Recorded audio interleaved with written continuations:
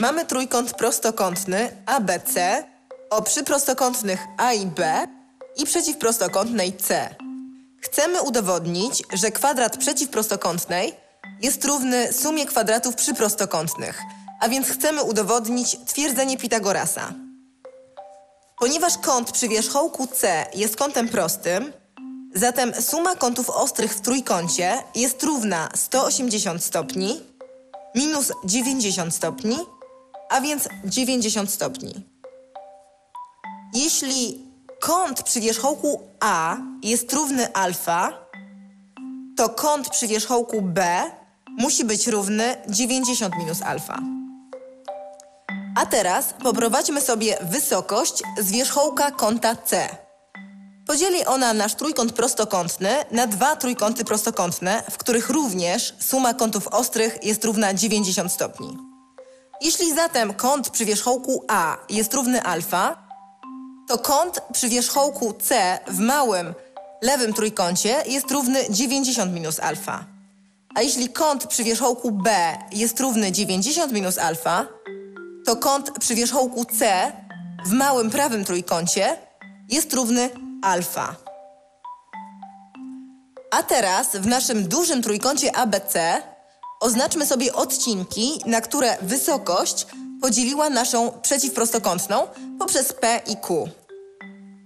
Zauważmy, że wszystkie trzy trójkąty prostokątne na naszym rysunku mają takie same kąty. Zatem są to trójkąty podobne. W takim razie stosunki odpowiednich boków w tych trójkątach są identyczne. Weźmy mały lewy trójkąt. Podzielmy przyprostokątną przy kącie alfa przez przeciwprostokątną.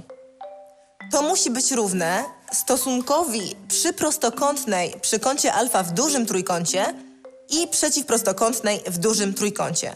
Zatem P przez B jest równe B przez C. Jeśli pomnożymy tę równość przez B, otrzymamy P równe B kwadrat dzielone przez C.